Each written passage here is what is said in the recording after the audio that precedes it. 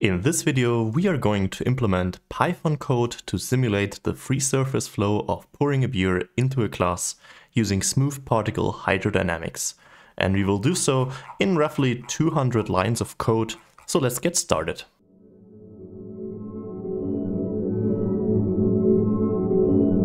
Hi and welcome to this new video. Smooth particle hydrodynamics is a Lagrangian approach to perform computational fluid dynamics. That means we track individual particles, or in the case of SPH, smeared out versions. Instead of in the Eulerian approach, we would use a grid over our computational domain. SPH has been used extensively since the 70s, and here we will use a super simple approach by Matthias Müller. You can find this paper linked here. And this approach solves the Navier-Stokes equation or the momentum equation in Lagrangian form. We look at the following scenario that you've also seen in the intro. We have a closed off domain, so we have walls on all four sides of this rectangular domain. And at a certain point in time, we have particles entering at the top and they have a certain velocity pointing yeah, downwards to the left kind of emulating how you would pour a beer, or at least how I would pour a beer. SPH works as following. The idea is that we discretize our fluid into particles, into n particles here. And the properties of these particles do not appear pointwise, so at the mass center of this particle, but have some smoothed out property using a smoothing kernel. The advantage of this approach is this then reduces our partial differential equation into a set of ordinary differential equations, where we describe the evolution of the velocity of each particle by the forces. We have a pressure force, we have a viscosity force, and we have a force due to gravity. And this ODE can then be solved using a simple integrator. Here we use a symplectic Euler integrator. And for this we have to introduce some more variables. We track the position of each particle. So the primary unknowns are the position and the velocity of the particles. We have a smoothing length, which essentially describes the cutoff radius up until which the properties of these particles act upon other particles. Then we have a particle mass, which is constant over all particles for simplicity. And then it works as following. Don't be overwhelmed with the substeps. We are going over them in greater detail later when we implement it. So the first one is we have to compute the right-hand side of the ODE, so the summation of the three terms. For this, we first compute the distances between all particles. Then we can compute a density using an smoothed kernel here. For more details on the chosen kernels, since they differ here, check out the paper. Then we compute the pressure out of the density using the ideal gas law. Then we can compute a pressure force.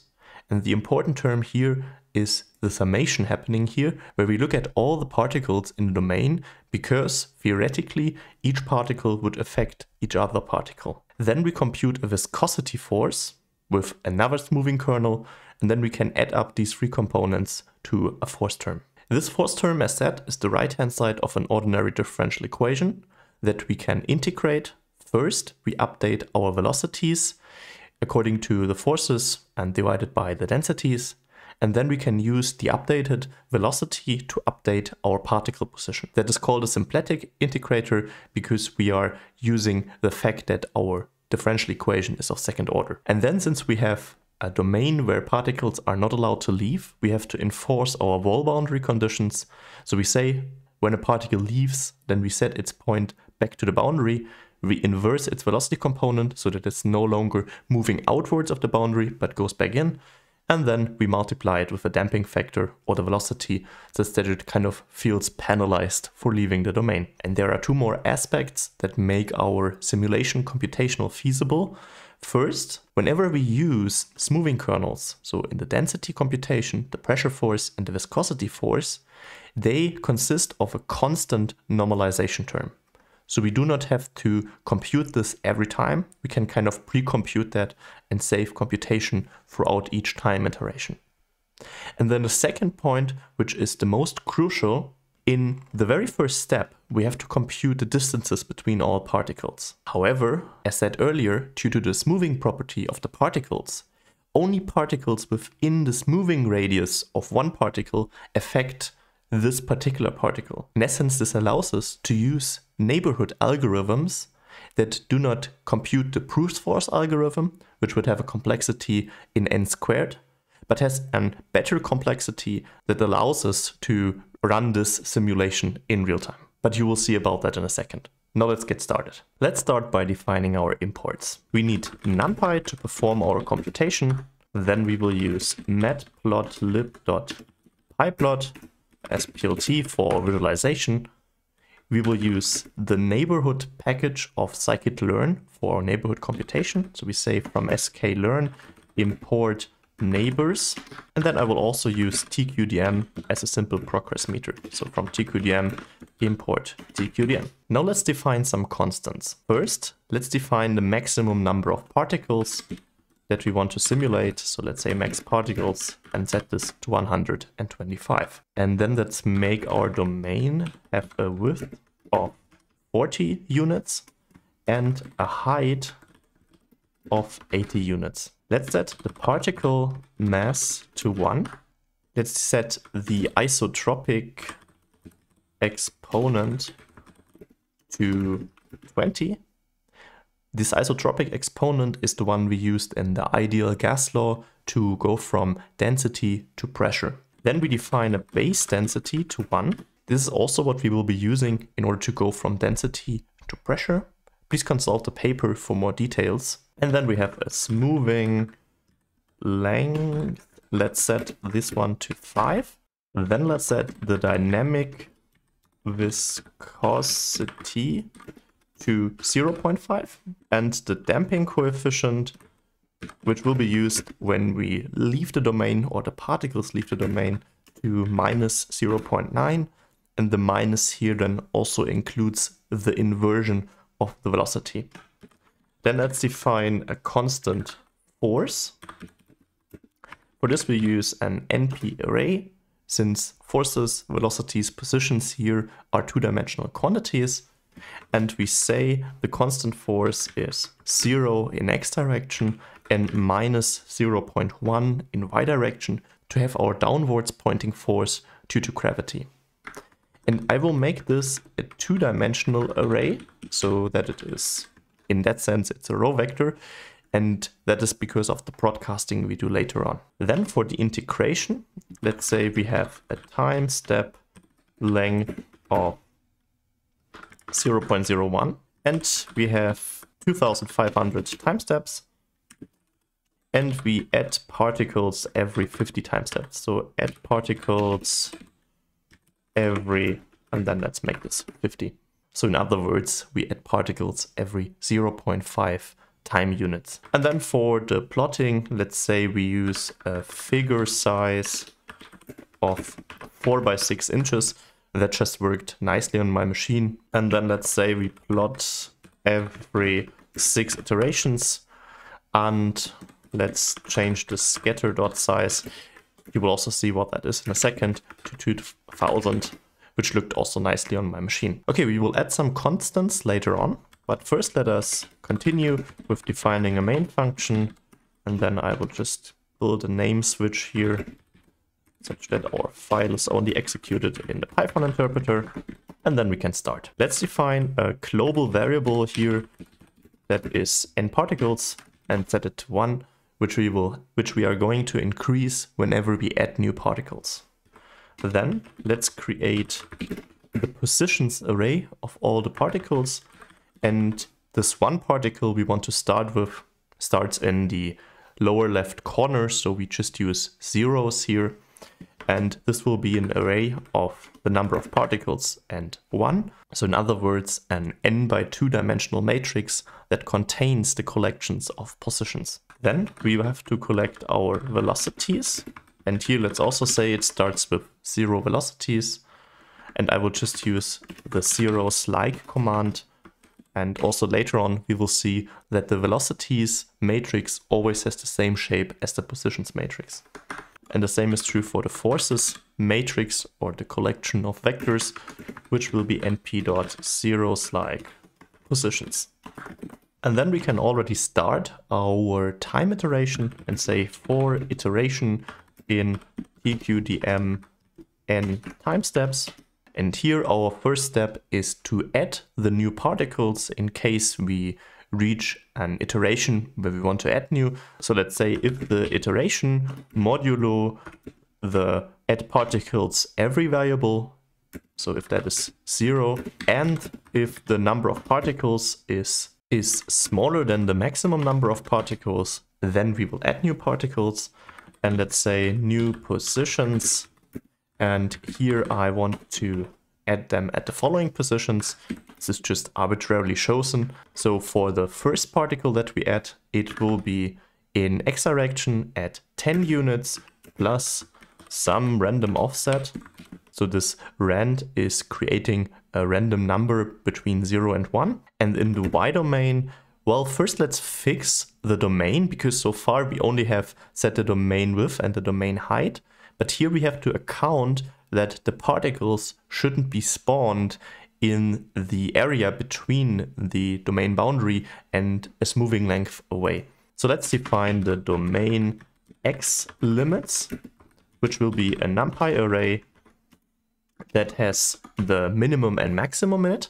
The minimum will be at smoothing length, and that's because our outer boundary starts at zero, so this x limit is at five then. And of course, then the other end will be the domain width minus the smoothing length. And let's do something similar for the y direction. And let's say np dot array. And here we also start at the smoothing length. And we, instead of using the width, we use the height minus the smoothing length. And then we can say we spawn our particles at the very top, which then of course is the main y limit 1. And then let's add two more particles and I will just change their position so that one particle is approximately at 10 units, then at 15 units, and then at 20 units. And then let's also define their corresponding velocities. So their velocities are also given in this array format. And for the first, we will have it in x direction, we have minus 3 velocity units, and in y direction, we have minus 15. So it's pointing to the left and downwards, like if you were pouring a beer. And I will use these velocities for all three particles. And since we now want to add particles, we have to increase our particle counter by 3 because we added three particles. And then the positions array that we have here will be augmented with our new positions. So we say positions is np.concatenate positions and new positions and we concatenate over the zeroth axis, which is the axis over which we collect all the positions. And let's do the same for the velocities, which will be np dot concatenate of the velocities and the new velocities also over the zeroth axis. And I see that should be an equality sign here, not an assignment. But anyways, let's continue after this step. So now we've inserted new particles. Then let's look at the actual algorithm. So the first is to compute the distances between all particle positions. And that was the computationally expensive part for which we imported the neighbors package. So let's do that computation. And it works as following. From the neighbors package, we call the object kd_tree which is a special way of performing these neighborhood calculations. If you're interested in more details, then check out the website of scikit-learn where they have a great explanation. Then we call this KD tree on the positions so that it builds the neighbors tree using the current positions. And then we can query the radius. So one can either query the n nearest neighbors or the neighbors within a certain radius. And we do that by saying the positions again, and then we want them within the radius of the smoothing length. And we want to return the distances. So return distance is true. And we want to sort results as well. So sort results being true. And this then returns two quantities. First, a neighbor IDs and a distances object. And both are lists of lists. So for this one, we have a list of lists, meaning that we have a list over all the positions and each entry in the list is a list with the IDs to the particle that is within the radius. So let's say, for instance, particle 5 and 8 are within the radius of particle 10, then at the 10th position in that list, we would have the IDs 10, 5, and 8 because it would also include the particle itself. And the distances is also a list of lists, but instead of containing the IDs, it contains the distances between the particle and this particular particle. Meaning also that the zero of entry will be zero because the distance from the particle to itself is zero. And this greatly simplifies our distance computation due to the more efficient algorithm than a brute force approach. And then we can start with our first real step in the algorithm, which will be the computation of the densities. And I will just allocate a new array and say np.zeros of the number of particles because we want to know the density of the fluid at each particle location. And then let's do an iteration and say for i in range of n particles. And then we have to iterate over the neighbors of this particle. Because recall, this is the list of lists and each sublist in this list can have a different length. So let's say for j in neighbor IDs.i. So then we iterate over the ith list in this neighbor IDs list of lists. And this j will then be an index in the positions array. However, we also need an running index in order to also access the distances. So I will use another variable that I will call j in list. So for j in list, comma j, and then we do an enumerate. So this sounds a little bit confusing, but the j will run, we consider the example, we are at particle number 10, which has particle 5 and 8 within its smoothing length. Then j will be 10, 5, 8, and j in list will be 0, 1, 2. So this is just going straight upwards, like a range, and this one will be the actual particle index in the positions array. Okay, great. Then let's say that the densities at position i will be plus equal, because we have to add up. And here we have to do smoothing length squared minus, and then the distances. And here we have to be for the ith particle to the j in list neighbor, because here we want to access the list of lists again. And we have to square this distance again and then cube this entire expression. However, we missed out the normalization because if we go up to the step, we see this is the summation essentially we're doing here, but we miss this normalization factor. So let's define the normalization and then we can multiply with it. I will call this normalization density and it is defined by the fraction with the numerator being 315 times the particle mass and we divide by 64 times pi times the smoothing length to the power of 9. And then let's go down. We see that we have to multiply our computation with that. So let's do normalization density multiplied with this quantity, and then we should be good to go.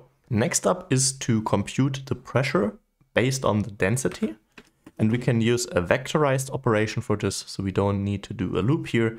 So let's say pressures being the isotropic exponent multiplied with the densities minus the base density. So now we have to compute the forces. So we say the forces will be np dot zeros like positions as we had them before, but we have to create a new array here because our number of particles has increased. And now we have to account for one thing, that in the density computation, it was helpful to include the particle itself. Whereas for the force computation, it is not, because there we have to divide by distances, and the distance from a particle to a particle is zero. So let's drop the element itself. So let's say drop the element itself. And for this, we will just say neighbor IDs and we will override this variable by saying it is a list of np numpy.delete x and then at zero position for x in neighbor IDs. So we iterate over all the lists within the neighbor ID and delete the zero for the first element. And let's do the same for the distances, which are just np.delete and also x comma 0 for x in distances. Then we can do another looping by saying for i in range of n particles and then we have to do again the looping over the neighbors by saying for j in list and j in enumerate neighbor IDs at the ith position. And then we first compute the pressure force by saying forces for the i particle being plus equal something. So let's first look what we have to do. So we have again a normalization constant and then our summation term. So let's define the normalization constant and then do the summation. So we do normalization pressure, normalization pressure or maybe pressure force, which is going to be negative and then we have the fraction of 45 times the particle mass divided by pi times the smoothing length to the sixth power. And then let's go down and define the pressure force being the normalization pressure force multiplied. And now it's getting a little more complicated since there are more terms involved. And we have a negative sign first. And then we have the fraction of the positions of the particle itself with the positions of the neighbor minus the positions of i. And remind yourself that is not the distance, that this is a directional vector pointing from the neighbor to the particle itself. And we divide that by the distance between the two particles. So we do distances at i, and then we do j in list in order to access the distance there. Then let's multiply this with the pressure at the neighbor plus the pressure at our current particle and then let's divide that by two times the density at the neighbor. Also consult the paper for more detail on why we're doing it that way. Then the last term is to multiply with the smoothing length minus the distances between the two particles. So i and j in list. And then let's square that. So square, not cubing. Okay, and that's our pressure force. Next up is the viscous force. For this we say forces at i being plus equal and we need another normalization constant. So let's look at how it is defined. It will be this one here and then we do our summation in the end. So let's define the normalization of the viscous force. Normalization viscous force. And here we again have a fraction that consists of the dynamic viscosity multiplied with the particle mass and then we have the prefactor 45 and then we divide that by i times the smoothing length to the sixth power. So let's go down and define the viscous force by multiplying our normalization for the viscous force with the following computation. So first we have the fraction of the velocity at the neighbor minus the velocities at the current particle. And similar to the position, this is some sort of a vector that is pointing at the differences between the velocities, if you want to think of that. And we divide that by the density at the neighbor particle and multiply it with the smoothing length minus the distances between the two particles that is similar to before with i and then j in list. And these are just two out of the three force contribution. Therefore, we will add the force due to gravity. So we say forces being plus equals the constant force. So this is the force due to gravity. And here I hope it makes sense that we used this row vector for the constant force because now it does the correct broadcasting over the right dimensions. And this is essentially the first substep of our algorithm. And now we have to integrate the system of ordinary differential equations using this simple symplectic integrator. So let's say that the velocities, so let's just call this Euler step, but we're using it in the symplectic form. The velocities plus the time step length multiplied with the forces, and then we have to divide the forces by the density. But the problem is that the densities is an one-dimensional array, whereas the forces are a two-dimensional array, so this would not correctly broadcast, and we want the densities to be broadcasted over the dimensionality, so over the two components of the force vector. So we will just do densities and then all indices, but we add a new axis in the rear so that it correctly broadcasts. And then we can also update the positions as being the positions plus the time step length multiplied with the velocities. And the last step is, of course, to consider the boundary conditions. So let's say enforce boundary conditions. And for this, we have to check which particles left our boundary. So I will create three Boolean arrays, which show us which particles are of the boundary by saying out of left boundary being if the positions at the x component are smaller than the domain y limit in the zeroth entry. And this then, as we've defined it earlier, is not zero, but is this smoothing length. So we will consider particles being out of the boundary already if they are not a smoothing length away from the boundary. And we can do a similar strategy with the right boundary, so out of right boundary being if the positions at the x component are greater than the domain x limit and the upper one here. And a similar thing can be done for out of the bottom boundary, being the positions in the y-axis are smaller than the domain y limit in 0.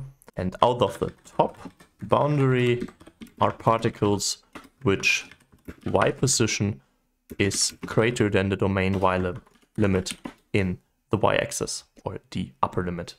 So with these Boolean arrays, we can then enforce our boundary conditions by saying the velocities for the particles which are out of the left boundary and in the zeroth component of the velocity will be multiplied with the damping factor or the damping coefficient and as said this then already includes the inversion of the direction of the velocities. And then we can do a similar thing with our positions by saying positions out of the left boundary at zero. Actually, it's not similar, but we then say these are now on the y limit. And this then also means that our particles are again pointing inwards to the domain and flowing in. I will just implement the analogy of the other boundaries real quick. And as you've seen, this is quite analogous to what we've done before. Now the last step is to visualize, which is of course optional, but we want to see it in real time here. So let's say if the iteration modulo the plot every variable is zero, so if we are in our case every sixth iteration, then we want to visualize and we do that using the scatter command. So by seeing plt.scatter and the x component of our scatter are the x component of the velocities, the y components of the scatter are the y components of the velocity of the positions, of course, and the size of the scatters are defined by the scatter dot size and are identical for each particle, and we will assign a color to them according to the y position, so for all the y positions, and we use a color map which is called Wistia reverse which lets it look like like a beer approximately. And let's define the y limits to be our domain y limits Let's define the x limits to be our domain x limits. Let's deactivate the ticks by putting empty lists in here because we just want to look at the visual effect. Let's do the same in the y direction. Then let's define the tight layout. So this is just some boilerplate stuff. And since we want to update this, we have to use the plt.draw command and then plt.pause for a couple of seconds such that the buffers are swapped and then we can clear the figure and return to our next iteration. And let me just also change the styling of it a bit, which is of course optional by saying plt.style.use dark background and we create a figure that is according to the figure size that we've created earlier and I thought 160 dpi worked well for me. Okay, let's see what kind of an error we made by executing our file and let's see. Okay, of course we have to put the range here because we can't iterate over integers. Let's see if that fixes the problem. And yes, indeed, I see that um, here we should be having a 2. So, of course, our positions are two-dimensional as well as our velocities and forces. So let's see if that finally fixes the issue. Yes, that's looking great, almost like in the intro. Well, it should be the same as in the intro. And you see new particles are created at the top with the velocity slightly to the bottom left. And then we have our particles going down and due to gravity they are agglomerating in the bottom. We see still some movement due to their inertia and also due to the fact that these are still viscous forces, so there's some diffusion happening. And due to our color map, we get this nice beer look. And here in the bottom, you also see the TQDM meter showing um, at which point of iteration we are. And if you looked at it closely, then you see that we started with a higher iteration count per second. Let me also quickly restart. So we start off with roughly 90 iterations per second. This could be higher for your machine. And then in the end down at maybe 40 or 50. But this is of course due to the fact that the more particles we have, the more computation we have to do. And in the beginning we only have a handful and in the end we have then all 125 particles. So this of course also increases the computation for the distances as well as the computation that we need for the force calculations and so on and so forth. Let me also highlight one last thing is that the SPH simulation that we've written here is not computing incompressible fluids or computing for incompressibility, which of course would be the case when we're simulating fluids or liquids in that case, like beer is. So let me run this last time when I then finish with the video. So I hope you enjoyed that one. Feel free to download the source code from the GitHub page and play around with the parameters. And also be aware, since we're using explicit integration here, we might run into instability issues. So consider this one or also play around with it. Maybe you can make it run faster. Maybe there are some tweaks one can do in order to also increase the iteration count or translate it to a different language. Let me know in the comment section what you've done with it and share your modifications with the audience. Thank you so much for watching. If you enjoyed, then please consider liking and subscribing. Here you will now see similar videos and I hope to see you in the next one.